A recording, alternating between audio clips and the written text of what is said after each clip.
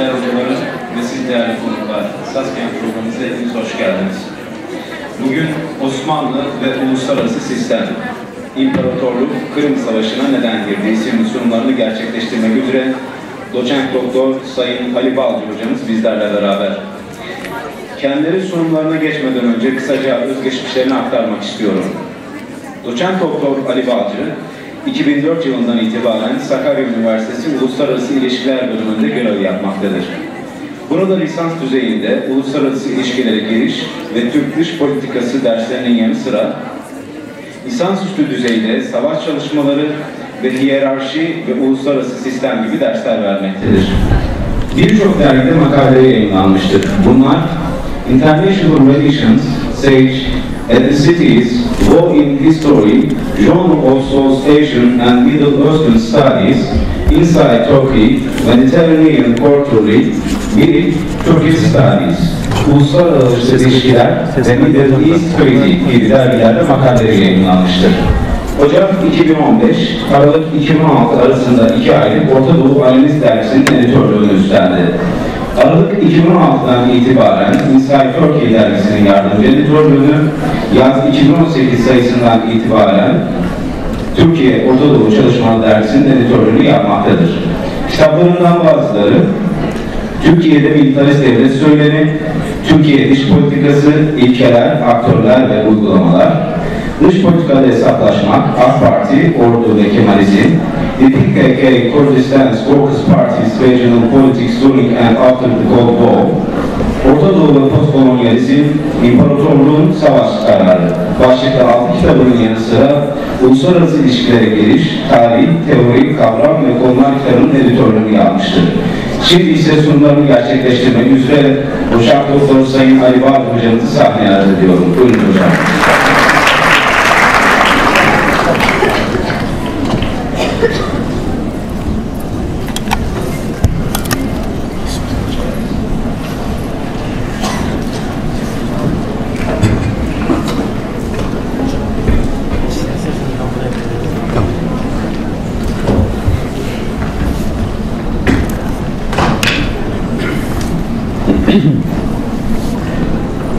Herkese merhabalar. Ee, Öncelikle beni böyle bir etkinlikte e, aranızda misafir ettiğiniz için de teşekkür ediyorum. Ee, Konumuz e, Osmanlı İmparatorluğu ve Uluslararası Sistem. Ee, Kırım Savaşı örneğini ele alacağız. Ee, Dolayısıyla konuşmayı iki ana bölüme ayırmayı planlıyorum. Birincisi e, bu Kırım Savaşı neden önemli? Neden bunu anlamak? e, Osmanlı'nın uluslararası sistem içindeki yerini anlamamızı kolaylaştırır. Bu soruyu cevaplayacağım. Ardından e, Kırım Savaşı'na biraz daha detaylı bakıp e, Osmanlı İmparatorluğu'nun o tarihteki durumu, daha sonra neden çöktüğü, e, neden e, ortadan kalktığı gibi sorulara da bu savaş üzerinden bazı cevaplar vereceğiz. Dolayısıyla e, bugün konuşma boyunca bu iki sorunun e, izini sürmeye çalışacağız ya da bu iki soruyu cevaplamaya çalışacağız. İlerleyelim. Bir sonraki. Ee, 1950 1850'li yıllara baktığımızda Osmanlı İmparatorluğu böyle bir coğrafyaya hükmediyordu. 2-3 tane önemli güç vardı bu dönemde. Birincisi İngiltere, ikincisi Fransa, üçüncüsü de Rusya. Bunlar bugünkü durumla karşılaştırıp daha iyi anlamanız için şunu söyleyebilirim. Bugünün Amerika'sı, bugünün Çin'i ve bugünün Rusya'sı gibi güçlü devletlerdi. Osmanlı ise o tarihte ciddi ölçüde zayıflamaya yüz tutmuş, bugünün zayıf devletlerinden bir tanesi gibiydi. Bir sonraki sayfaya geçmemiz. Şimdi şu şuradaki bilgiler bize e, neden Osmanlı'nın zayıf, Rusya'nın ise dönemin güçlü bir devleti olduğunu gösteriyor. Alttaki tabloya baktığınızda 1950'li yıllarda asker sayılarını görüyorsunuz. Rusya 1 milyonun üzerinde askeri toplayıp cepheye sürebilirken Osmanlı'nın kapasitesi sadece 150 bin askeri toplayıp cepheye sürebilmek. Bu bile tek başına bize o dönemde Osmanlı İmparatorluğu'nun Rusya karşısında epey zayıf bir devlet olduğunu gösteriyor.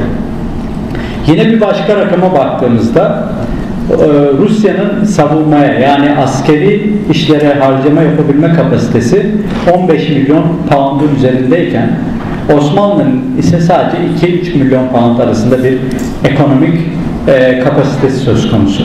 Bu da iki ülke arasında ne kadar büyük bir uçurum olduğunu bize gösteriyor.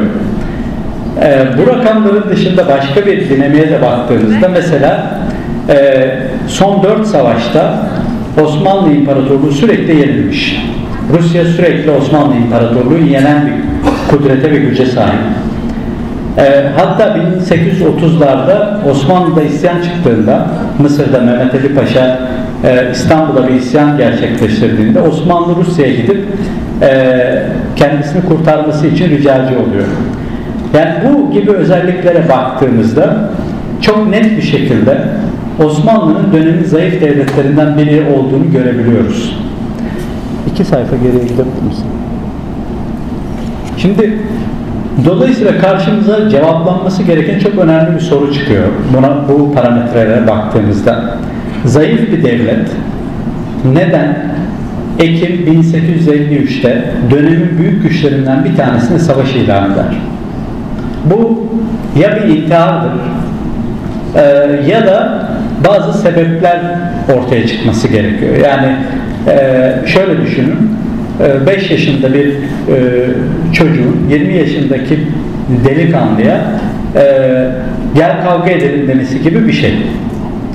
Dolayısıyla kavganın sonucu zaten en baştan belliyse yani yenilme ihtimaliniz çok büyük olasılıksa böyle bir riski neden göze alırsınız ve neden dönemin en büyük askeri güçlerinden birisine savaş ilan edersiniz? Dolayısıyla bu soruyu cevaplandırmak Osmanlı'nın neden 1850'de yıkılmadığını da 1918'de yıkıldığını da cevaplandırır bize. Niye bir yaklaşık bir yüzyıl daha yaşamaya devam ettiğini.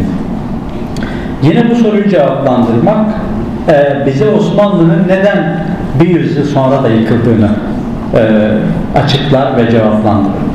Dolayısıyla 1853'ü anlamak bir nevi Osmanlı'nın son yüzyılını neden bir süre daha hayatta kaldığını ve neden bir süre daha bir süre sonra yıkıldığını da e, anlamamızı sağlar. Şimdi e, bu e, görselde bir cümle var. E, uzun paragraf olan cümle. Bu cümle o dönem Rusya'nın İngiliz Büyükelçisi'nin e, ifade ettiği bir cümle. Bu cümlede çok net olarak şöyle bir şey söylüyor. E, 1853 Şubat'ında Rusya'nın özel elçisi İstanbul'a gelmiş e, ve Osmanlı'dan bazı ayrıcalıklar talep ediyor. Ve bu talebe karşılık Rusya'nın İngiliz Büyükelçisi şöyle bir açıklama yapıyor. Diyor ki yahu bizim Osmanlı'yla bir şey istememize gerek yok ki. Osmanlı zaten zayıf, biz zaten güçlüyüz. Her istediğimizi elde edebiliriz. Neden yeni bir anlaşma yapalım da Osmanlı'dan ekstra bir şeyler talep edelim? Bir şey istediğimizde zaten elde edebiliyoruz. Şimdi bu açıklama kendi başına iki devlet arasında ne kadar büyük bir uçurum olduğunu da bize net bir şekilde gösteriyor. Dolayısıyla ana sorumuza tekrar geri dönüyoruz. Böyle bir durum ortadayken Osmanlı İmparatorluğu neden karşısındaki büyük bir devlete karşı savaş ilan ediyor? Dikkat edin Rusya savaş ilan etmiyor. Rusya sürekli bir şeyler talep ediyor. Ama savaşı ilan eden, savaş kararını alan e, Eylül 1853'te Osmanlı İmparatorluğu. Dolayısıyla bu soruyu cevaplamamız gerekiyor. Bu soruyu cevaplarken e, tabii bunu ilk kez ben cevaplamıyorum. E, bir sürü tarihçi bu konuda çalıştı ve bazı cevaplar geliştirdiler ama bu cevapların önemli ölçüde eksik olduğunu düşünün. Size daha iyi bir cevap nasıl sağlanabilir onu göstermeye ve anlatmaya çalışacağım. İki sayfa ilerleyelim. Bir tane daha. Ee, alternatif cevaplara geçmeden önce bu kararın neden çok kritik olduğunu üç noktada tekrar açıklamama müsaade edin. Birincisi şu. Ee, o dönemde Osmanlı İmparatorluğu İngiltere ve Fransa ile yakın bir ilişkiye sahip. Diyor ki Osmanlı devlet adamları, eğer İngiltere ve Fransa bizi desteklerlerse belki Rusya'yı yenebiliriz. Ama dikkat edin burada destekler iseler gibi bir şart cümlesi var. Dolayısıyla bunun iki riski var. Eğer sizi desteklemezlerse son anda vazgeçerlerse tamamen sona ereceksiniz. Rusya'nın çünkü ana hedefi İstanbul'u işgal etmek. Şayet desteklerler ama yeterince desteklemezlerse sizi bu durumda ciddi ölçüde Rusya'ya toprak kaybedeceksiniz. Dolayısıyla savaşa girmenin çok büyük bir riski var. Devletin sona ermesi ya da önemli büyüklükte topraklarını kaybetmesi gibi bir riski var. Buna rağmen savaşı ilan ediyorsunuz. İşte bu açıklamaya muhtaç bir durum. Bir sonrakine geçelim. Ee, bununla ilgili kitaplar, makaleler bunlara baktığımızda dört tane cevap var. Birincisi bize şunu söylüyor. Diyor ki o dönem e, İngiltere'nin İstanbul'daki büyükelçisi Osmanlı devlet adamlarını kandırdı. Yani e, Lord Strafford denen bir büyükelçi Osmanlı devlet adamlarıyla yakın ilişkiye sahipti ve onları sürekli Rusya'ya karşı kışkırttı. Bu yüzden savaşı ilan edildi. Bu bize şunu söylüyor. Osmanlı aslında istemedi. Dolayısıyla Osmanlı'nın kararı değil, İngilizlerin oyununa gelip savaşa girdik. Birinci açıklama bu. İkinci açıklama şöyle söylüyor bize. Diyorlar ki tanzimat reformları yapılmış. Yani Osmanlı'da klasik düzen değişmiş, yeni bir düzen gelmiş. Dolayısıyla padişaha yönelik muazzam tepkiler var. Mesela Yeniçeri ordusu kaldırılmış. Burada işini kaybedenler isyan ediyor. Ulema ve dini sınıf e, daha layık eğitime geçilme durumunda padişaha ve yönetimine kızgın bunlara yakınlanıyor. Dolayısıyla bu gibi tepkileri önlemek için padişah böyle bir savaşı fırsat olarak görüp dikkati savaşa yöneltti ve içerideki muhalefeti susturmak için böyle bir karar aldı. Bu da ikinci e, açıklama yöntemi. Üçüncü açıklamada şunu söylüyor. Diyor ki e, Osmanlı, İngiltere ve Fransa'nın kendisini destekleyeceğine o kadar inandı ki dolayısıyla Rusya'ya ben yenilirsem bunlar kesin benim yardımıma gelirler. Peki bu inanç nereden kaynaklanıyor? Çok basit. Eğer Rusya Osmanlı İmparatorluğu'nu yener ve topraklarını ele geçirirse İngiltere'den daha güçlü bir pozisyona sahip olabilir. Akdeniz, Karadeniz bu bölgeleri kontrol edebilir ve İngiliz sömürgelerinin önünü kesebilir. Yani Mısır'a İngiltere'nin o kadar kolay ulaşmasının önüne geçebilir. Hindistan'a ulaşmasının önüne geçebilir. Bunu bilen İngiltere Osmanlı'nın yenilmesine müsaade etmez. O yüzden olası bir savaşta İngiltere muhakkak bize yardım edecektir güveniyle Osmanlı Savaşı ilan etti. Bu da bir başka açıklama. Fakat ben bu açıklamaların önemli ölçüde yeterli olduğunu ama bize tam bir resim sunmadığını söyleyeyim. Ee, neden Osmanlı'nın böyle bir savaş kararı aldığını daha detaylı bir şekilde açıklamak niyetindeyim. Bunun için birkaç kritere bakacağım. Birkaç kriterin altını çizeceğim size. Birincisi şu. E, İstanbul savunması diye özetleyebilirim. Detaylı olarak açıklayacağım. Ne demek İstanbul savunması? Bir sonraki e, resme geçelim. E, burada kalsın. E, İstanbul savunması şöyle bir şey. E, Şubat 1853'te e, Rusya'nın o dönemki lideri Nikolay bir plan hazırlatıyor. Diyor ki e, ben şu kadar süre içinde yani bir haftada ya da iki günde ya da üç günde İstanbul'u nasıl oldu bittiğiyle hemen işgal edebilirim. Benim Karadeniz'deki donanmam bunun için yeterli mi? E, Tuna boylarına sevk ettiğim ordu bunun için yeterli mi? Gibi hesap yaptırıyor ve bu planın üzerinde ciddi ciddi düşünmeye başlıyor. Ve bunu çeşitli platformlarda dile getiriyor. Şöyle düşünün, e, sizin başkentinizi bir gün içinde işgal etme planı yapan bir güç var karşınızda. Sizin yapmanız gereken ilk şey ne olur? Başkenti nasıl koruyabilirim planı olur. Dolayısıyla siz başkenti koruyabilirim noktasına emin olursanız savaşa ilan etme ihtimaliniz artar. Ama olası bir savaşta başkenti kaybederim korkusu varsa savaşı ilan etmekten kaçarsınız. Dolayısıyla o dönemin Osmanlı liderlerinin ilk odaklandığı şey İstanbul'un korunması oluyor. Peki bütün bunlar durup dururken mi başlıyor? Yani Osmanlı durup dururken mi bir korkuya kapılıyor? İstanbul işgal edildi. Hayır. Her şey 1852'de başlıyor. Hikayesi kısaca şöyle, kısaca özetleyeyim. Ee, Kudüs'te bir sorun çıkıyor. Sorun şu, e, Kudüs'teki Katolik Hristiyanlar mı kutsal yerlerin anahtarına sahip olacak yoksa Ortodoks Hristiyanlar mı? Yani oradaki kilisenin kapısını kim açacak, e, kim kapatacak, anahtar kimde olacak meselesi. O tarihe kadar Ortodoks Hristiyanlar buraları yönetiyor. Yani Rusya'nın e, kendilerini yakın hissettiği Osmanlı'da yaşayan Ortodoks Hristiyanlar. Fakat Katolikler nüfusları çok az olmasına rağmen onlar da Fransa'nın desteğine sahip. Dolayısıyla sorun Fransa ile Rusya arasında bir sorun haline geliyor 1852'de. Fransa sorunu kendi lehine çözebilmek için Suriye kıyılarına donanmasını gönderiyor. Osmanlı'ya baskı yapıyor ve Osmanlı diyor ki anahtarları Katoliklere veriyorum gibi bir karar alıyor. Bu Rusya'yı ciddi ölçüde rahatsız ediyor ve diyor ki ben bu kadar Osmanlı'yı kontrol edebilirken nasıl olur da Fransızlara bu anahtarlar verilir diye 1853 Şubat'ında özel bir elçi yolluyor İstanbul'a. Prens Menşikov. Bir sonraki ya da iki sonraki şeyde bir sonraki bir daha biraz daha gidelim. Bir daha. Evet. Bu e, beyefendi İstanbul'a yolluyor. E, Menşikov adı.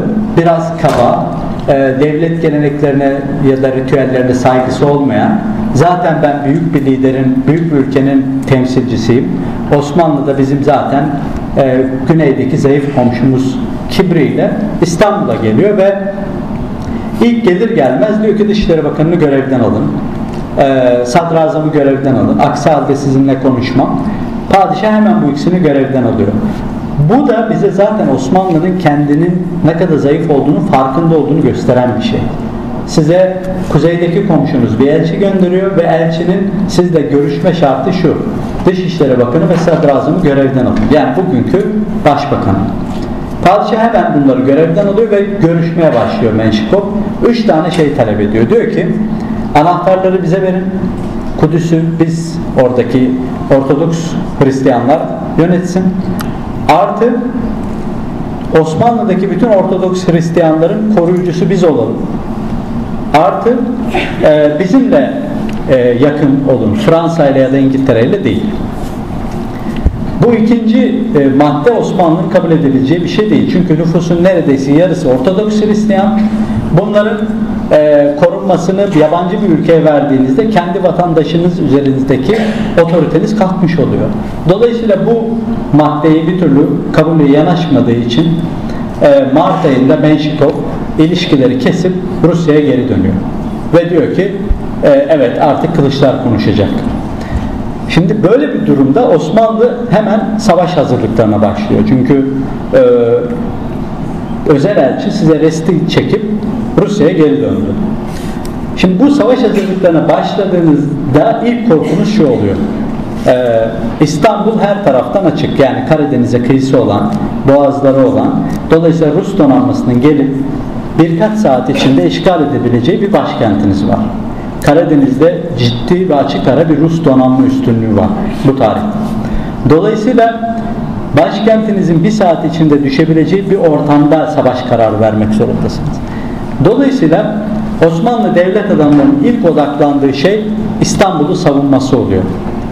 Şimdi sizi bir noktaya doğru getiriyorum. Yani Osmanlı'nın Rusya karşısında ne kadar zayıf olduğunu artık detaylı bir şekilde ifade edebildiğimi düşünüyorum.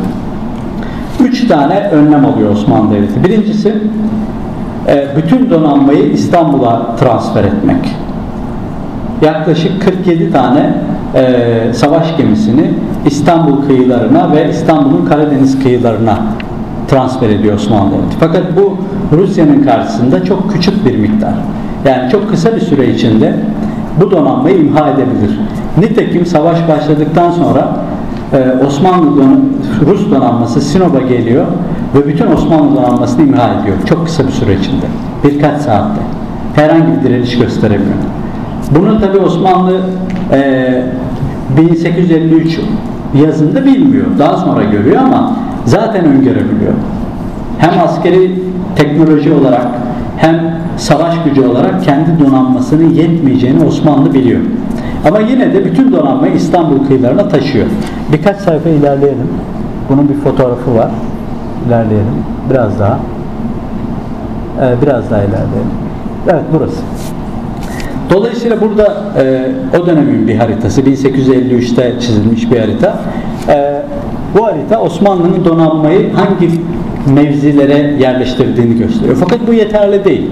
Peki ne yapacaksınız? İkinci çözüm olarak o dönemin Mısır valisine emir gönderiyor. Elinde ne kadar donanma varsa, ne kadar savaş gemisi varsa İstanbul'a gönder talebinde bulunuyor. Ve bütün donanmayı e, Mısır valisi İstanbul'a gönderiyor. Fakat bu da yeterli değil. 14 tane savaş gemisi gönderiyor. Dolayısıyla Osmanlı İmparatorluğu'nun e, bu İstanbul'u savunma meselesini çözmesi için bir başka hamlesi gerekiyor. İngiltere ve Fransa'nın Akdeniz'deki donanmalarını İstanbul'a getirmek zorunda. Aksi takdirde başkenti savunamayacak bir güç kapasitesi var. Dolayısıyla dönemin Dışişleri Bakanı İngiltere ve Fransa'ya yazışarak yani beni Rusya karşısında yalnız bırakmayın, donanmanızı ne olur İstanbul'a gönderin diye ricada bulunuyor. Fransa istekli çünkü Kudüs'teki mesele konusunda Osmanlı'yı korumak istiyor. Oradaki Katoliklerin haklarını vesaire Rusya'nın Osmanlı'yı yenip orayı kaybetmek istemiyor. Fakat o tek başına risk almaktan yana değil Fransa. Çünkü dönemin büyük gücü ama İngiltere'ye kadar güce sahip değil. Dolayısıyla İngiltere'nin ilk hamleyi yapmasını her zaman bekliyor. Ee, 1853 yazında önemli ölçüde Fransızlar ve İngilizler ikna ediliyor ve ikisi de donanmalarını Beşika'ya gönderiyorlar. Beşika Çanakkale'nin hemen e, yakınında bir körfez. E, birkaç geriye gidelim. Evet burası. E, yukarıdaki e, Osmanlı donanmasının boğazlardaki konuşlanışını gösteriyor. Alttaki ise Beşika'da bekleyen İngiliz ve Fransız donanması. Neden bunlar önemli? Çünkü hem teknolojik olarak Ruslarla mücadele edebilecek bir donanma hem de daha kalabalık bir donanma Osmanlı'nınkine kıyasla. Dolayısıyla bunları İstanbul'a getirmek ciddi ölçüde İstanbul'un savunması konusunda Osmanlı liderlerini rahatlatacak bir hamle. Şimdi e, Haziran ayında yani 1853'te Rusya ilk hamleyi yapıyor. Bugün Moldova diye bildiğimiz bölgeyi işgal ediyor. Diyor ki madem Menşikov'un taleplerini karşılamadın şimdi burayı işgal ediyorum. İşgalden sonra karşılamanı istiyorum. Yani karşılamazsan yavaş yavaş geleceğim gibi bir göz, boy, boy gösterisi yapıyor Osmanlı'ya karşı. Ve Osmanlı hiçbir şey yapamıyor. Meclis toplanıyor ve karar alıyor. Diyor ki Rusya'nın Moldova'yı ve bu bölgeyi işgal etmesi bir savaş nedeni değildir. Neden? Çünkü Rusya'ya karşı savunacak ve ona karşı savaşacak bir askeri kapasiteniz henüz yok. Dediğim tarih Haziran 1853. E, Fransız ve İngiliz donanmaları henüz Beşika'ya gelmemiş. Beşika'ya geliyorlar Haziran ayının sonunda ve Osmanlı küçük de olsa bir ümit sahibi oluyor. Belki de İstanbul'a gelirler. Peki neden bu tarihte savaş kararı vermiyor Osmanlı? Çünkü Karadeniz'deki Rus donanmasının İstanbul'u işgal etmesi birkaç saat, Beşika'dan İngiliz ve Fransızları donanmasının İstanbul'a gelmesi iki gün. Dolayısıyla bunlar yardıma geldiğinde çoktan başkent düşmüş olacak. Ve bu yüzden Osmanlı ısrarlı bir şekilde bu donanmanın İstanbul'a gelmesini talep ediyor. Yani Beşika bizim için yeterli değil. Ve bunlar İstanbul'a gelmediği sürece de Rusya'nın hiçbir hamlesine savaşla karşılık vermiyor. Yani bir savaş ilan etmiyor Osmanlı Devleti. Ee, Ağustos ayının sonuna geldiğimizde ortada bir konu var. İngiltere Avusturya'nın arabuluculuğuyla bir anlaşma öneriyor. Hem Rusya'ya hem Osmanlı'ya. Bu anlaşma şöyle bir şey. Ee, savaş ihtimalini bertaraf edin. Ee, Osmanlı Rusya'ya bazı ayrıcalıklar versin, sorunu çözelim. Şimdi bu inisiyatifin arkasında İngiltere olması Osmanlı'yı daha fazla korkutuyor.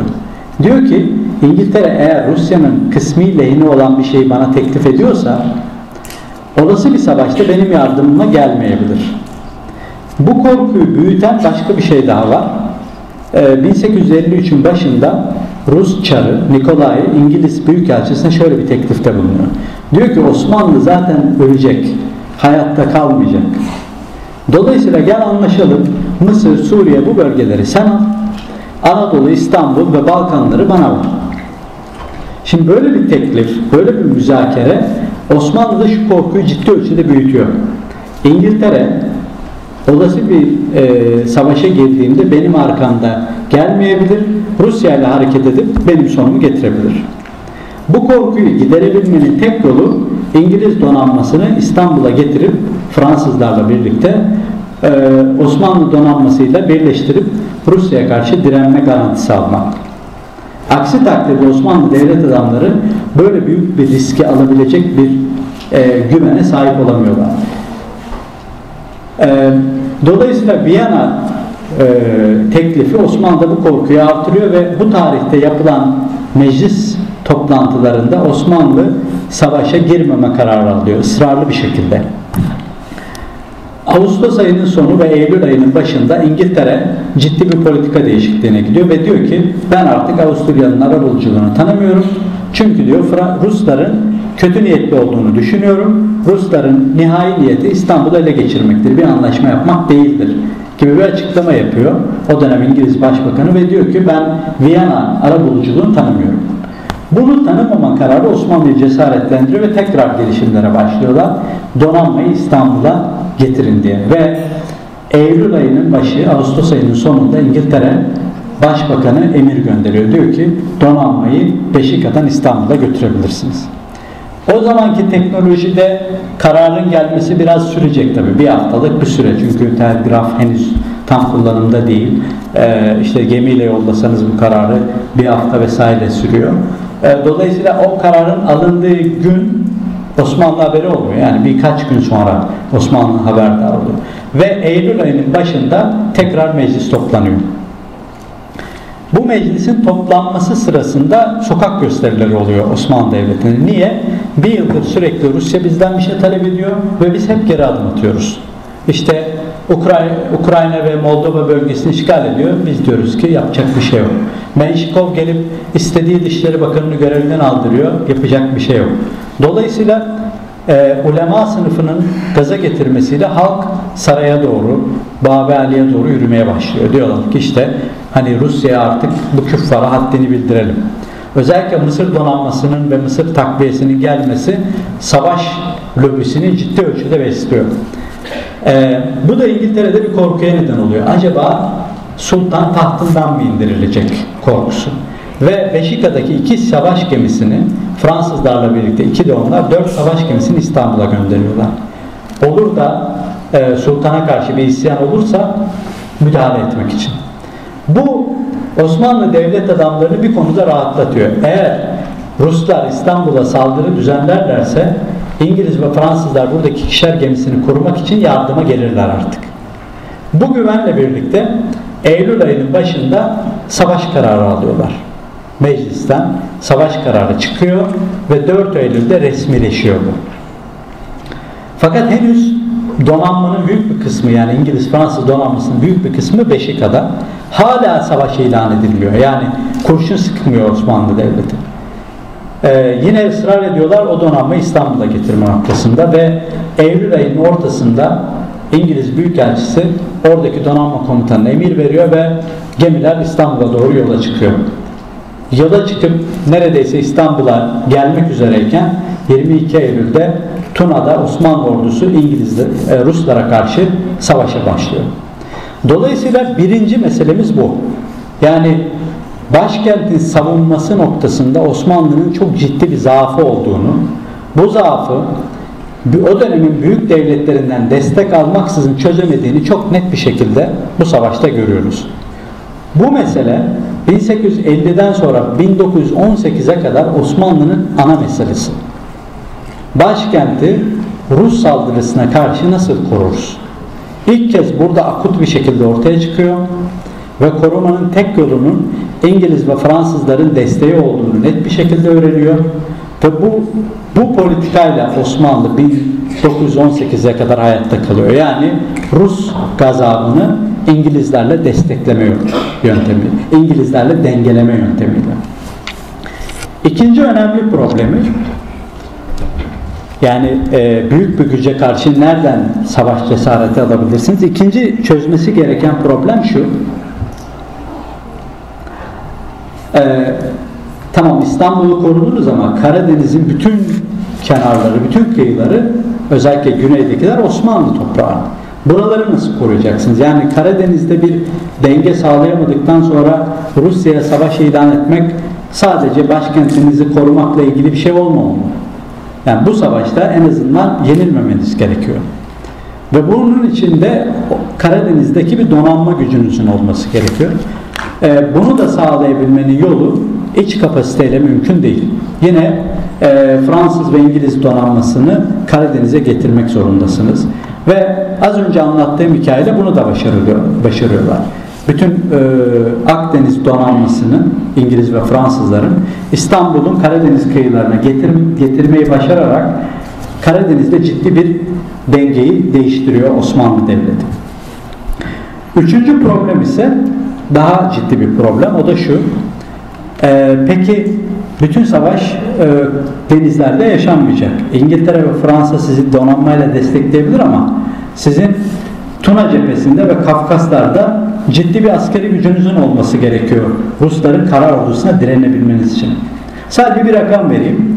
Savaşın yapıldığı 1854'te Rusların askeri gücü 1 milyonun üzerinde Osmanlı'nın asker sayısı 160 bin civarında. Hadi e, rakam e, hesaplama hataları falan 200 bin civarında. Yaklaşık 5 Rus askeri karşısında bir tane askeriniz var. Artı silah teknolojisi, askeri teknoloji olarak Ruslar sizin çok önünüzde. Artı nüfus olarak da ciddi bir zaafınız var. O dönemde Osmanlı'da gayrimüslimlerin askeri alınması diye bir şey yok. Nüfus 35 milyon, 13 milyon Ortodoks Hristiyan, 1 e, milyonu Katolik, Yahudiler vesaire yarısı gayrimüslim nüfusun. Dolayısıyla 15 milyonluk bir nüfustan asker topluyorsunuz. Ee, ve bu askeri e, toplama noktasında güçlü kontrolünüz olmadığı mesela Suriye, uzak eyaletlerden getireceksiniz. Bu da kolay bir şey değil. Ciddi bir e, askeri güç asimetrisi var. Bunu nasıl çözeceksiniz? İşte 1833'ün ortalarından itibaren Osmanlı bunun üzerine kafa yormaya başlıyor. 35 bin civarında iyi eğitimli Mısır askerini Tuna boylarına transfer ediyorlar bu tarihlerde ve Tuna ordusunu ya da Tuna cephesini ciddi ölçüde güçlendiriyorlar. Peki Kafkaslar'da ne yapacaksınız? Burada belki hepinizin bildiği bir hikaye var. Şeyh Şamil olayı duydunuz mu hiç? Duyanınız vardır herhalde. Şeyh Şamil uzun bir süredir e, Kafkaslar'da Rus ordusuna vurkaç taktiğiyle ciddi zayiatlar veriyor ve sürekli de padişaha mektup yazıyor. Bizde asker var ama silah yok. Bize ne olur? E, silah yardımında bulunun diye. E, dönemin Osmanlı padişahı hiçbir şekilde bunlara cevap vermiyor. Neden? Çünkü ona yardım etmesi Rusya'yı üzerine çekmesi demektir. Yaklaşık bir 15 yıl boyunca Şeyh Şamil bu mücadelesini yapıyor ama hiçbir cevap bulamıyor Osmanlı. 1853'te kriz patlak verince Şeyh Şamil evet diyor şimdi fırsatıdır ve Osmanlı bana artık yardım eder herhalde diye bir karara varıp 10 bin kişilik bir ordu topluyor. Yani düşünün Şeyh Şamil oradaki bir dini lider 10 bin kişilik bir ordu toplamayı başarıyor 1853'ün yazında. Osmanlı'nın e, orada topladığı ordunun rakamı 30 bin maksimum. Düşünün kocaman bir devletsiniz. Bu Suriye, Irak, Lübnan, Mısır, Anadolu bütün buralardan ordu topluyorsunuz. Ee, Dağıstan bölgesindeki bir e, tırnak içinde isyancı bir liderin topladığı ordunun iki katını toplayabiliyorsunuz. Artı bu ordunuz düzenli de bir ordu değil, toplama bir ordu. Yani Balkanlardaki yine düzenli bir ordu. Onların komutanı iyi, eğitimli, askeri teknikleri bilen. Ama Kafkaslardaki ordunuz toplama bir ordu. Ve toplayabildiğiniz rakam Dağıstan'daki bir e, lokal liderin topladığı iki katı olabiliyor. E, Osmanlı devlet adamları o zaman şey Şamil ile iletişime geçiyorlar. Diyorlar ki evet Tamam, şimdi sizi destekleyebiliriz ve padişah e, cihada katılması noktasında Şeyh Şamil'e bir mektup yazıyor. Şimdi bunu neden bu detayı anlatıyorum? Çünkü e, ortada şöyle bir çözülmesi gereken bulmaca var. Düşünün Osmanlı liderisiniz ve savaş kararı vereceksiniz. İki cepheniz de zayıf. Bu iki cepheden hangisinde başarılı olabileceğinizi netleştirmeniz gerekiyor. Bu hesabı yaparken iki şeyi düşünüyor devlet adamları o dönemde. Bir, Tuna cephesinde nüfusun çoğunluğu gayrimüslim. Dolayısıyla buradaki olası savaşta e, buranın nüfusu noktasında Ruslar çok daha avantajlı. Artı buralar önemli ölçüde düzlük. Düzenli bir orduya karşı, iyi eğitimli bir orduya karşı direnmek çok zor. Dolayısıyla burada savunma yapalım diye karar veriyorlar zaten. Ama Dağıstan bölgesi işte Kafkaslar e, coğrafi olarak çok zor bir iklime sahip. Artı buranın nüfusu büyük ölçüde Müslüman. Yani Rusya'nın toprakları olmasına rağmen büyük ölçüde Müslüman nüfusa sahip ve cihat fikri burada sizi ciddi bir şekilde avantajlı hale getiriyor. Ee, ve e, dönemin padişahı Abdülmecit e, Şeyh Şamil'e bir mektup yazarak cihat fetvasını ona ulaştırıyor. Ve o da o topladığı orduyu harekete geçiriyor. Ve savaş kararının verildiği tarihte bütün bu tamamlanıyor. Dolayısıyla Şubat 1853'ten farklı olarak e, Ağustos 1853'e geldiğimizde Osmanlı 3 problemini önemli ölçüde çözmüş oluyor. Ya da Eylül 1853'e geldiğimizde. Birincisi başkenti koruyabilecek bir kapasitesi var artık. İkincisi Karadeniz'deki Rus açık ara avantajını dengelemiş durumda. Dolayısıyla Karadeniz'de kesin bir şekilde yenilme ihtimali yok artık. Yenebilir de.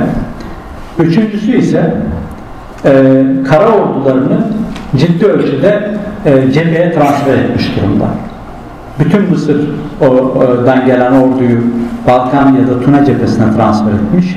Kafkaslardaki yerel liderlerle anlaşmayı yapabilmiş, sağlayabilmiş, onların ordularını kendi yanına çekmiş ve Suriye, Lübnan buralardan topladığı, Kürt bölgelerinden topladığı orduyu da Kafkaslara taşıyabilmiş. Şimdi böyle bir durumda kesin yenileceğiniz bir savaşa girmiyorsunuz artık. Yani bir ihtimal kazanabileceğiniz ama bir ihtimalde yenilmeyeceğiniz bir savaş kararı vermek durumundasınız. Ve 22 Eylül 1853'te dönemin zayıf bir devleti dönemin güçlü devletlerinden bir tanesine savaş ilan ediyor. Şimdi bu askeri dengeyi bu kadar detaylı anlatmamın bir sebebi var. O da şu ya da bu dengedeki değişimi. Mevcut e, literatüre baktığımızda yani bu Kırım Savaşı'na nasıl oldu da Osmanlı girdi literatürüne baktığımızda bu konuda detaylı ya da e, temel bir bilgi bulamıyoruz. Bütün bilgiler az önce size söylediğim gibi üç kaynaktan geliyor. Bir, İngiliz Büyükelçisi Osmanlı liderlerini kandırdı. Buna kadar geçerli bir argüman. Yani bu bize Osmanlı'nın o dönem karar vericilerinin çok rasyonel düşünmediği sonucuna getirir. Yani işte bir büyükelçi sizi hemen kandırabiliyor. Çok e, basmakalıp bir okuma biçimi oluyor. Dolayısıyla bizi aslında e, doğru bir yargıya götürmez diye düşünüyorum. E, ikincisi önemli bir dinamik yani kamuoyu baskısı. E, bu da bir şey bize bir şeyleri açıklar. Ama sadece kamuoyu baskısıyla böyle büyük bir riskin neden alındığını bize cevaplamaz. Yani kamuoyu bastırdı diye kaybedeceğiniz bir savaşa girmezsiniz herhalde. Bu da irrasyonel bir davranış olur. Dolayısıyla Osmanlı devlet adamlarının savaş kararlarını nasıl rasyonelleştirdiklerini anlamak istiyorsak ve bu kararı neden verdiklerini anlamak istiyorsak bu değişen dengeye bakmanın diğer açıklamalardan daha ikna edici olduğunu söyleyebiliriz. Böyle biraz şey yapalım, resimlere bakalım. İlerleyin ileriye doğru. Biraz daha gidin. E, geri gelin. Şimdi burada e, savaş kararının rasyonelitesini biraz e, özetlemeye çalıştım. E, birkaç rasyonelitesi var. Buraya dönerek nasıl anlatabilirim? Ee, evet yani bu dört ve dört sebep Ee, bu iki farklı dört sebep Osmanlı'nın Eylül 1853'te savaş kararını vermesine neden oluyor. Birincisi, birinci sütuna bakalım. İngiltere ve Fransa Viyana inisiyatifinden desteğini çekerek Osmanlı'nın yanında olacaklarını ima ediyorlar. Bu önemli bir gelişme. İkincisi Beşika'da konuşlanmış İngiliz ve Fransız donanmasının e, İstanbul'a transfer edilmesi bunların artık olası bir savaşta sizin arkanızda olacağınızı kesinleştiriyor. E, Rusya'nın müzakerelere sürekli devam etme gayreti. Bu da size düşmanınızın aslında savaştan biraz çekindiğini ima ediyor. Neden? Çünkü Viyana görüşmelerinde Rusya gayret ediyor. Hatta savaşın hemen öncesinde Örnütz'e gidiyor Rus lider ve son bir gayretle savaşı engellemeye çalışıyor. Eğer rakibiniz sizden güçlü ve savaşı engelleme konusunda çabaları varsa bu sizin için şu anlama gelir. Yani Rusya'nın bu savaştan bir korkusu olabilir. Bu korku nedir? Olası bir savaşta İngiliz ve Fransızlarla savaşma riski. İşte bu korku da sizi e, savaş kararı alma konusunda cesaretlendirir Osmanlı devlet adamları için. İstanbul işgal tehdidinin ortadan kalkması ya da azalması. Artık başkentiniz düşmeyecekse böyle bir riski alabilirsiniz. Yani kaybetseniz bile savaşı e, devlet hala var olmaya devam edebilecek gibi bir garanti. Bunlar sistem düzeyinde bir rahatlama getiriyor. Ee, Osmanlı özelindeki dinamiklere baktığımızda sultanın barış tavrına karşı kamuoyu baskısı. Yani kamuoyunu da tatmin etmeniz gerekiyor. Ee, o dönemin önde gelen bütün ulemaları dilekçe yazıyorlar sultana. Bu küffara haddini bildirelim. Ee, işte bizi sürekli aşağılıyor vesaire gibi. Ee, Mısır ve Tunus desteğinin gelmesi, iki e, Osmanlı eyaleti ciddi ölçüde asker ve donanma desteği gönderiyor. Bu da Osmanlı karar vericilerini cesaretlendiren bir şey. Savaş hazırlıklarının tamamlanması, Tuna ve Kafkas cephesine orduyu göndermiş olmanız. O dönemi düşünün. E, tren yok, bir şey yok. E, Suriye'deki orduyu e, Kars'a getirmeniz zaten bir ay budur. E, bunu getirmeden savaş ilan etmek zaten biraz çılgınlık olur. Yani direkt Kars'ın ve bu bölgelerin düşmesi demektir. Orada ordunuz yoksa. E, barış kampının tek şarta sıkışması. Bunu biraz açalım. Dönemin Dışişleri Bakanı ısrarlı bir şekilde savaşı girmemekten yana. Yanında birkaç kişi daha var. Ee, ve bunlar savaşa girmekten yana olanlarla sürekli müzakere ediyorlar. Yani düşünün devlet adamları bir grup savaş yanlısı bir grup karşıtı. Karşıt olanların şartı şu. İngilizler ve Fransızlar bizi desteklemediği sürece bu savaşa girmek ölüm demektir. Ne zaman bunlar bizi desteklerse o zaman gireriz gibi bir e, söz veriyorsunuz savaş kampına. İngiliz ve Fransız donanması İstanbul'a gelince artık bu şartınız ortadan kalktığı için mecbur savaş cephesinin kararına boyun eğmek zorunda kalıyorsunuz. Dolayısıyla bu e, 8 dinamiğin e, Eylül 1853'te hayata geçmesi artık Osmanlı'yı savaş kararı vermesi noktasında bir rasyoneliteye taşıyor. Bir sonrakine geçelim. Şimdi e, burada da bir savaş kararının risk analizi ile ilgili bir şey var. E, kısaca anlatalım. Şu tarafa baktığımızda e, risk çok yüksek. E, bu tarafa baktığımızda risk e, düşük anlamına geliyor. E,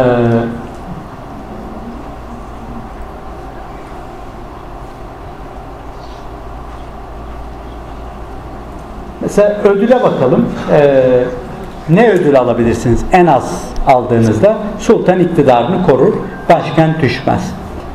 İkincisi, ikinci yani daha büyük bir ödül ne olabilir bu savaşta? Rusya'ya yenilmezsiniz, yaklaşık bir 60 yıldır sürekli yenilme şeyine bir son verirsiniz. Dolayısıyla Rusya tehdidini durdurmuş olursunuz. Çünkü son yaptığınız 4 savaşta yenilmişsiniz ve büyük topraklar kaybetmişsiniz. Ve yaptığınız bir savaşta yenilmiyorsunuz. Bu psikolojik olarak askeri e, kapış, e, boy gösterme olarak ciddi bir avantaj. Daha büyük bir ödül ise İngiltere ve Fransa desteğini bunların yanında yanınıza almış olursunuz ve önünüzdeki 50 yılı garanti etmiş olursunuz.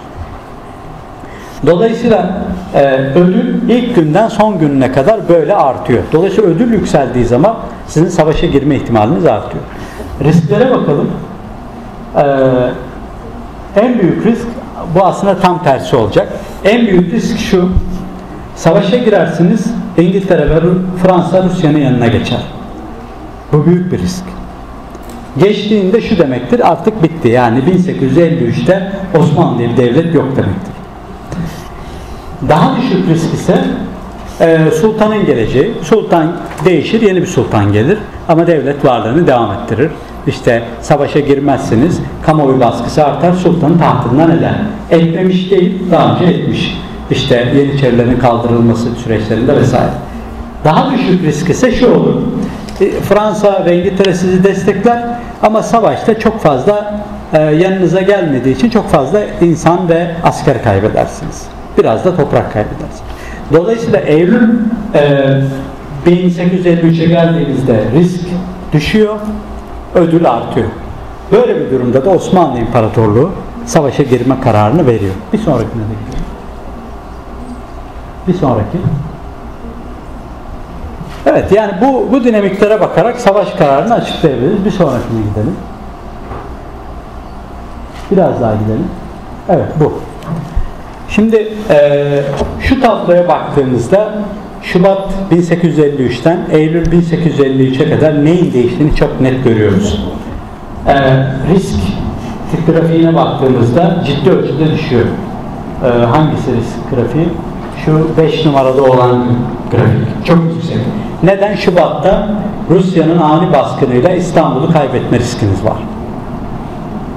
Mart ayında, Nisan ayında böyle. Ama Eylül ayına geldiğimizde bu risk ikiye iniyor. Ciddi ölçüde azalıyor. Artık İngilizler, Fransızlar gelmiş, e, Mısır donanması gelmiş, siz tahkim etmişsiniz. İstanbul düşmeyebilir. Mesela başka bir parametreye baktığınızda kazanç diplerde sıfır Şubat ayında. Hiçbir kazancınız yok savaş ilanı. Ama e, Eylül ayına geldiğimizde bu kazanç ciddi ölçüde artıyor. Mesela 3'e vesaire çıkıyor. E, sistemik netlik. İngiltere bizim yanımızda olacak mı olmayacak mı? Emin olma durumu. Şubat'ta hiç emin değilsiniz. Mesela 4 numarada ama e, Eylül ayına geldiğinizde 1'e inmiş oluyor bu netlik. Yani büyük bir olasılıkla %80-90 İngiltere bizim yanımızda savaşacak. Nitekim öyle oluyor zaten. Savaş boyunca İngiliz ve Fransız donanmaları bütün Karadeniz'de Rus donanmalarıyla savaşıp yeniyor. Sivastopol'u kuşatıyorlar bugün Kırım bölgesi ve oradaki limanları bombalıyorlar, Rus limanları. Ee, yine lider kadroya bakıyorsunuz. Ee, sarı grafikte. Lider kadro başta ikiye bölünmüş. Bir grup diyoruz savaşalım, bir grup diye savaşmayalım. Ama Eylül-Ekim ayına geldiğimizde artık herkes tamam savaşabiliriz diyor. Dolayısıyla bu parametrelerin bir yıl içinde değişmesi dönemin zayıf bir gücünün büyük bir gücüne savaş ilan etmesini normal kılıyor. Şimdi bu Kırım Savaşı ile ilgili detaylı, bayağı böyle bilgi dolu bir hikayeydi. Bunu biz Osmanlı'nın son dönemini açıklamak için nasıl kullanabiliriz? Burayla ilgili, e, tabi bu arada saatten hiç haberim yok ama bir 10 dakikamız daha var herhalde değil mi? 45, 15 dakikamız tamam. Şimdi 3 tane Kırım Savaşı ile ilgili çıkarım yapıp Osmanlı'nın son dönemiyle ilgili 3 tane çıkarım yapıp bu konuşmayı bitireceğim. Birincisi şu Osmanlı Devleti'nin yıkılmak üzere artık e, zayıflamış bir devletin hayatta kalmasının tek bir koşulu var. Sizi başka bir büyük gücün desteklemesi. Aksi takdirde e, düşman büyük güce karşı yenilip sona erebilirsiniz. O yüzden dönemin Dışişleri Bakanı e, vefat etmeden önce bir vasiyetname yazıyor. Kırım Savaşı'nda Dışişleri Bakanı olan kişi. Vasiyetnamesinde şunu söylüyor. Diyor ki Osmanlı'nın birkaç vilayeti kaybetmesi İngiltere'nin desteğini kaybetmesine yeğdir diyor. Yani Suriye'yi kaybedin hiç önemli değil. Yeter ki İngiltere'nin size desteğini kaybetmeyin. Yani Mısır'ı mesela İngiltere işgal ettiğinde hiçbir şey demiyoruz. Bu korku. Çünkü İngiltere'yi de karşına aldığınızda sizi büyük bir güç karşısında dengeleyecek bir şey yok artık. İşte bu politika Osmanlı'nın yaklaşık bir bir 70 yıl ya da 60 küsur yıl daha yaşamasını imkanlı kılan en önemli politika oluyor. Mesela İngiltere Mısır'ı işgal edip karşı safa geçtiğinde başka bir büyük, büyük güç aramaya başlıyorsunuz. Mantık aynı. Bu sefer Almanlara yanaşıyorsunuz. Almanlarla ilişkilerinizi geliştiriyorsunuz vesaire. Ve Birinci Dünya Savaşı'nda da zaten Almanların yanında savaşa giriyorsunuz. Dolayısıyla Kırım Savaşı'nda kesin ve net bir şekilde öğrenilen bu ders Osmanlı'nın o tarihten sonraki en önemli dış politika dinamiği haline geliyor. Ve Osmanlı'nın hayatta kalmasının birçok başka sebebi var. En önemli sebeplerinden bir tanesi de bu oluyor. Neden? Çünkü Kırım Savaşı'nda Fransa ve İngilizler ciddi ölçüde gelip savaşa katılıp Osmanlı'nın hayatta kalmasını sağlıyorlar. Ve görüyorsunuz bunlarsız ben hayatta kalamam. İkinci önemli sonuç, bu iyi tarafı Kırım Savaşı'nın. İkinci önemli sonuç şu, eğer siz hayatta kalmanızı başka bir büyük güce emanet ediyorsanız, o büyük gücün sizden her istediğini cevaplamak zorundasınız. Dolayısıyla bu da Osmanlı için ciddi ölçüde taviz veren, eee bağımlı bir siyasetin başlamasına sebep oluyor. Daha önce başlamış ama bu tarihten itibaren artık kronik hale geliyor. Mesela Kırım Savaşı'nda çok ciddi bir ekonomik kaybı girdiğiniz için İngilizler size çok ciddi miktarda para yardımı yapıyor. Sürekli faizle borç ödemeye başlıyorsunuz. Ee, İngilizler sizden ayrıcalık istiyor. Mesela işte Bulgarlara hak verin. Veriyorsunuz. Birkaç sene sonra isyan edip devlet kuruyorlar. Ötekine hak verin, veriyorsunuz. Ee, işte ayrıcalık verin. Birkaç sene sonra isyan edip e, Osmanlı'dan kopuyorlar. Dolayısıyla bu da Osmanlı için kronik bir problem haline geliyor. Özellikle Kırım Savaşı'ndan sonra. Kırım Savaşı'ndan önce de var. Mesela Yunanistan isyanı, bunu İngiltere'nin desteklemesi, Yunanistan'ın e, güney kısımlarını kaybetmiş olmak gibi bazı semptomlar var ama Kırım Savaşı'ndan itibaren bu artık bir Osmanlı'nın hayatını Osmanlı'nın hayatını Osmanlı'nın hayatını Osmanlı'nın hayatını hızlandıran ve nihayete erdiren bir dinamik oluyor. Bir taraftan sizi hayatta tutan bir dinamik ama öbür taraftan sizin de yavaş yavaş ölümünü götüren bir başka dinamik eee, ortaya çıkmış oluyor. Üçüncü öğrendiğimiz bir şey de şu oluyor.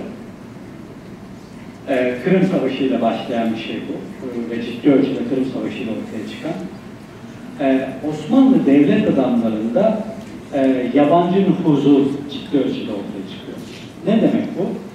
Ee, Cevdet Paşa tarih kitabında detaylı bir şekilde böyle şöyle bir ifade kullanıyor. Diyor ki Osmanlı devlet adamları için bir yabancı büyükelçiye yaranmak e, en önemli ihtiyaçlardan bir tanesidir diyor.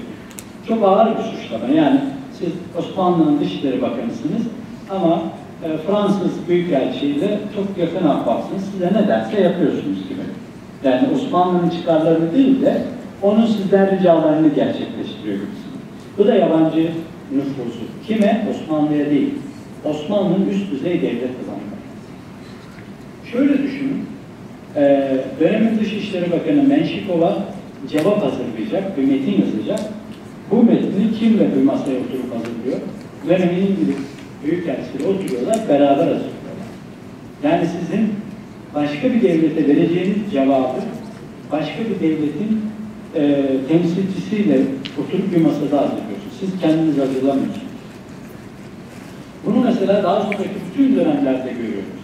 Mesela Birinci Dünya Savaşı'na giriş kararında o dönemin Alman Büyükelçisi İstanbul'daki Wagenheim sürekli bir şekilde Enver'le, Cemal'le, ötekiyle paşalar bunlar dönemin e, önemli karar vericileri sürekli dirsek teması görüşüp şöyle yapalım, böyle yapalım, git Sayın Halim'i ikna et falan gibi. Dolayısıyla e, o dönemde başlayan yönetici elitimizde e, nüfuz etmiş bir yabancı etkisi var. E, bu etki Osmanlı'nın son yarım yüzyılını büyük ölçüde şekillendiriyor. Bu şekillendirme hali de negatif bir şey. Çünkü sizin Osmanlı'nın çıkarları doğrultusunda karardan ziyade belli nüfus altında kararlar vermenizle sonuçlanıyor ve bu da sizi e, sona doğru götüren dinamik oluyor. Dolayısıyla Kırım ve sonrasında üç tane çıkarım yapıyoruz. Birisi pozitif bir şey, ikisi de negatif bir şey. İkisi de niye 1800, 1918'de Osmanlı sona erdi bize açıklıyor. Niye daha önce değil? Çünkü büyük güçlerin desteğiyle birlikte hayatta kalabiliyorsunuz. Niye yavaş yavaş ölüyorsunuz? Çünkü bunların nüfusu sizin devlet sisteminizi bozuyor. İşte isyanlar, destekler, hak artırmaları vesaire gibi şeylere baktığınızda bunu görüyorsunuz. Artı seçtiğiniz liderler devletin çıkarı ve bekasıyla hareket etmekten ziyade bunların etkisi altında hareket eden liderlere dönüşüyorlar. Dolayısıyla bu üç dinamik bize Osmanlı'nın son dönemiyle ilgili çok ciddi e, analiz ve açıklama imkanı sağlıyor diyebilirim. 15 dakikayı geçti mi? Tamam. Burada burada sonlandırabilir. Aslında bir sonuç gibi oldu.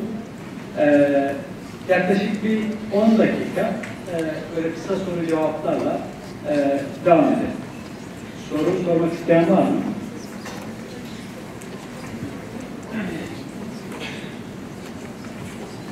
Evet.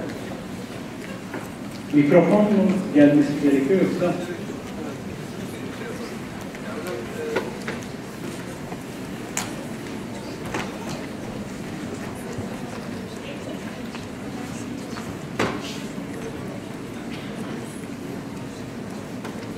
Merhaba, ben Mehmet Ee, Hocam, e, sunduğunuz için teşekkür ederim. Ee, Güzel ama sesiniz biraz az geliyor sanki. Yani Evet. sunum, e, sunumun başında bahsettiğiniz e, Osmanlı ve Büyük Rusya karşılaştırması, Rusya karşılaştırmasında ve yani Rusya'nın İstanbul'u e, ele, e, ele geçirme planları olduğundan bahsettiniz. Ben şunu sormak istiyorum. Yani Osmanlı Devleti'nin bu savaştan kaçınmak gibi bir şeyi var mı? Bir e, yolu var mı? Bir çıkışı var mı? Yani savaşı ilan edilebilir miydi? Yani sizin anlattığınızda sanki bir zamanlama meselesi. İşte Şubat'ta ilan etmedi, gerekli hazırlıkları yaptıktan sonra işte Ekim'de veya e, Ağustos gibi. Yani ben merak ettiğim Osmanlı Devleti bu savaştan kaçınabilir mi? Böyle bir yolu var mı? Evet. Ee, zaten e, Osmanlı Devleti bu savaştan kaçınıyor ama kaçınamaz hale gelmesinin birkaç sebebi var. Birincisi şu, e, Rusya size bir niyet beyan ediyor. Ukrayna ve Moldova bölgesini işgal ederek. Ve bunu işgal ettikten sonra yani bayağı büyük bir toprak parçası burası. Ve size diyor ki eğer diyor bizim taleplerimizi kabul etmezseniz devam edeceğiz. Yani Rusların geldiğini görüyorsunuz. Ve bir adımla da bunu size kanıtlamış oluyor. Birincisi bu. İkincisi eee Osmanlı devlet kadrosu içinde savaş yanlısı cephe zaman geçtikçe büyüyor. Niye? Çünkü sürekli taviz veren bir devlet bu cephenin elini güçlendiriyor. Ne, ne anlamda güçlendiriyor? Bir kere kamuoyuna gidiyor bu cephe. Mesela damat e, Mehmet Ali Paşa e, hemen ulemaya gidiyor, savaş yanlısı çünkü. Diyor ki sürekli taviz veriyoruz, sürekli e, bir yerlerimizi işgal ediyor ve sessiz kalıyoruz. Ulema sokak gösterileri yapıyor. Yani o dönem Kayseri'de sokak gösterisi olmuyor, İstanbul'da olması yeterli. Büyük bir kalabalık İstanbul sokaklarında taşkınlık ve isyana kalkışıyor. Şimdi bu baskılar zaman ilerledikçe artmaya başlıyor. İkinci dinamik bu. Yani savaş kanadının elini güçlendirmesi. Üçüncü dinamik de şu. eee Strafford ve İngiltere biz sizi destekleyeceğiz. Artık savaşa girebilirsiniz demesi. Şubat 1853'ten durumu çok farklı hale getiriyor. Dolayısıyla bu destekle birlikte siz iki şeyi çözeceksiniz. Bir, işgal edilmiş toprağınızı geri alacaksınız. İki, yaklaşık 50 yıldır kronik hale gelen Rusya'ya yenilmeyi durduracaksınız. Bu ödül çok böyle elinin tersiyle edilecek bir ödül değil. İşte bu ödül imkanının ortaya çıkması ve az önce bahsettiğim iki baskı hatta üçüncüsünden de bahsediyor. O da şu, eğer bu fırsatı kullanamazsanız Rusya'nın bir sonraki hamlesi karşısında ne yapacaksınız? Mesela Bulgaristan'ı da işgal ettiğini düşünün. Geliyor şimdi. Yani Rusya şundan emin olsa zaten işgale devam edecek. İngilizler Osmanlı'yı desteklemeyecek. Dolayısıyla eee, bu baskı, bu üç baskı ve ortaya çıkan dördüncü fırsat size savaş kararını aldırıyor. Yoksa Osmanlı padişah özellikle ısrarlı bir şekilde savaştan kaçma. Ama sonuçta padişah da bu dinamikleri görüyor ve bu üç baskının artı bu fırsatın onu da ikna ettiğini söyleyebiliriz. Ki zaten e, savaş kararının alınmasından üç gece önce ya da dört gece önce bir toplantı yapıyorlar. Dışişleri Bakanı, Savaş Bakanı, Padişah, Şeyhülislam. Padişah şunu diyor, e, ısrarlar karşısında. Ya tamam ben istemiyorum ama İngiliz ve Fransız donanmaları İstanbul'a gelir, ben bir garanti sağlarsam olabilir diyor. Bu baskıyı bertaraf etmek için. Ve bu şartı gerçekleşince yapacağı bir şey kalmıyor. Tamam diyor, ben bu sözü verdiysem yapacak bir şey yok ve imzalıyor meclisten çıkan para, savaş kararı.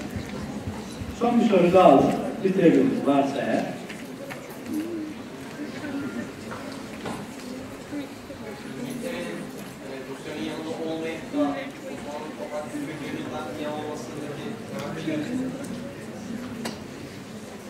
Ee, küçük bir tekrarla soruya geleyim. Tekrar şu.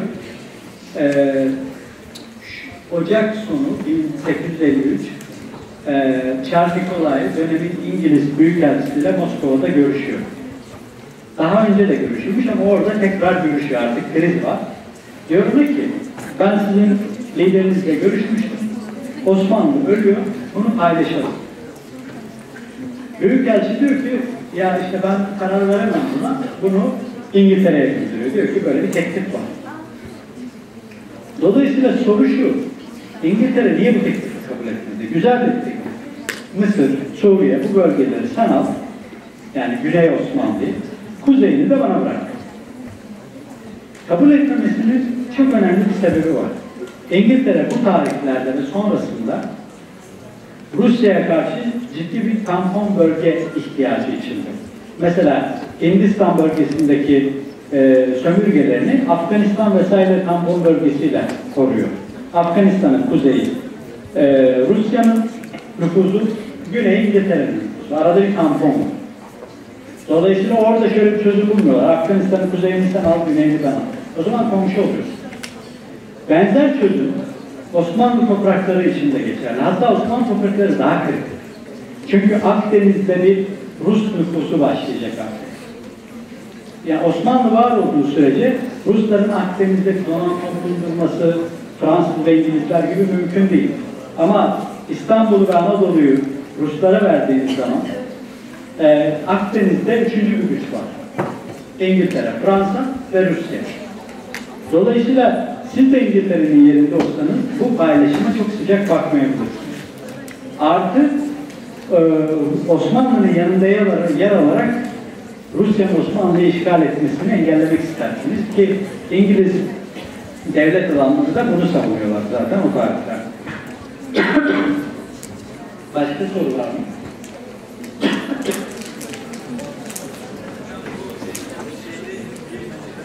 E, mikrofon varsa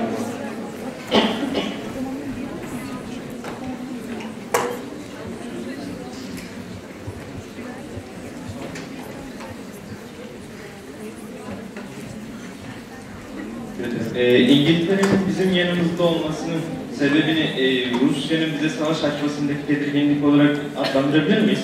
Arkadaşın soruyor sonra kısa cevap olarak. Ee, değil çünkü e, Ruslar Ukrayna ve Moldova'yı işgal ettiğinde İngilizler hala e, Rus net bir şekilde gelmiyorlar. Diyorlar ki olsun orayı işgal etsin ama biz bunu barışla çözelim. Nasıl bir barış? Viyana'da bir araya geliyorlar Avusturya yetkilileri, Fransa ve İngilizler. Diyorlar ki bir e, barış anlaşması yapalım. Dolayısıyla e, Rusya'nın savaş ilan etmesinden ziyade Osmanlı'yı ortadan kaldırma riski İngilizleri motive ediyor. Yani küçük parçaları işgal etmesi İngilizler için çok büyük bir problem değil. Ki bunu nerede görüyoruz? Ukrayna ve Moldova bölgesinin işgal edilmesinde bir problem ortaya çıkmıyor. Ama Osmanlı'yı bütün olarak işgal etme Ruslar için ciddi bir problem deyip bitirir misin? Ee, burada bitiriyoruz. Katıldığınız için teşekkür ederim. Olur. Hocamıza değerli teşekkür ediyoruz. Hocamıza hediye takdimimiz olacaktır. Hocamıza hediyelerini takdim etmek üzere Sakarya Üniversitesi Uluslararası İlişkiler Bölümü hocalarından Doçent Doktor Sayın İsmail Ediz hocamızı sahneye arz ediyorum. Buyurun hocam. Arkadaşlar çıkışta yoklama alacaktır. Lütfen kartlarınızı okutmadan geçmeyin.